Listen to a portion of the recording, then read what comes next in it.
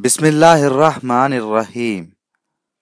अल्लाह के नाम से शुरू जो बड़ा मेहरबान, निहायत रहम वाला है, वो भेद छुपाने वालों की नीयतों खुसर फुसर करने वालों की सरगोशियों, मजनून और बेबुनियाद ख्यालों, दिल में जमे हुए यकीनी इरादों, पलकों के नीचे कंखियों के इशारों दिल की तहों और गैब की गहराइयों में छुपी हुई चीज़ों को जानता है और उन आवाजों का सुनने वाला है जिनको कान लगाकर सुनने के लिए कानों के सुराखों को झुकना पड़ता है।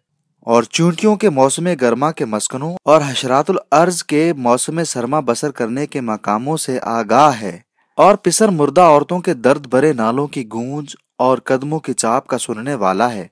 और सब्ज पत्तियों के गुलाफों के अंदरूनी खोलों में फलों की नशोनुमा पाने की जगहों और पहाड़ों की खोओं और उनके नशेबों में वहशी जानवरों की पनागाहों और दरख्तों के तनों और उनके छुलकों में मच्छरों के सर छुपाने के सुराखों और शाखों में पत्तियों के फूटने की जगहों और सुल्ब की गुजर गाहों में नुतफों के ठिकानों और ज़मीन से उठने वाले अब्र के टुकड़ों और आपस में जुड़े हुए बादलों और तह बतह जमे हुए अबरों से टपकने वाले बारिश के कतरों से बाखबर है और एक जार के जर्रे जिन्हें बाद बगोलों ने अपने दामनों से उड़ाया है। और वो निशानात जिन्हें बारिशों के सैलाबों ने मिटा डाला है। इसके इल्म में है।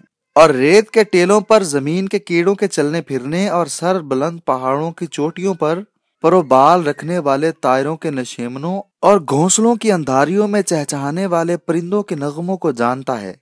और जिन चीज़ों को सीपों ने समेट रखा है, और जिन चीज़ों को दरिया की मौजें अपने पहलू के नीचे दबाए हुए हैं, और जिनको रात की तारीख चादरों ने ढांप रखा है और जिन पर दिन के सूरज ने अपनी किरणों से नूर बखेरा है, और जिन पर कभी जुल्मत की तहें जम जाती हैं, और कभी नूर के धारे बह निकलते हैं, पहचानता है, वो हर कदम का निशान, हर चीज़ की हिस्सो हरकत हर लफ्ज की गूंज, हर होंठ की जुम्बश, हर जानदार का ठिकाना, हर जर्रे का वज़न, और हर जीदार की सिस्कियों की आवाज़, और जो कुछ भी ज़मीन पर है, सब इसके इल्म में है। वो दरख्तों का फल हो या टूट कर गिरने वाला पत्ता या नुतफे या मुंजमद खून का ठिकाना और लोथड़ा या इसके बाद बनने वाली मखलूक और पैदा होने वाला बच्चा।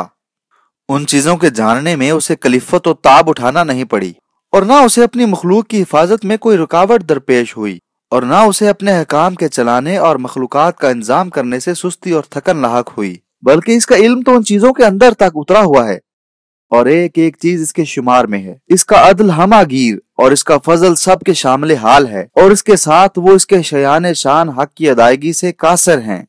ए खुदा, तू ही तोसीफ व सना और इंतहाई दर्जे तक सराहे जाने का मुस्तक है। तो तू दिलों की बेहतरीन ढारस है और अगर तुझसे उम्मीदें बांधी जाएँ तो बेहतरीन चश्मा उम्मीद है। तूने मुझे ऐसी कुत बयान बख्शी है कि जिससे तेरे अलावा किसी की मदा और सताइश नहीं करता हूँ और मैं अपनी मदा का रुख कभी उन लोगों की तरफ़ नहीं मोड़ना चाहता जो नाउमीदियों का मरकज और बदगुमानियों के मकामात हैं। तूने मेरी जबान को इंसानों की मिधा और परवरदा मखलूक की तारीफ़ व सना से हटा लिया है।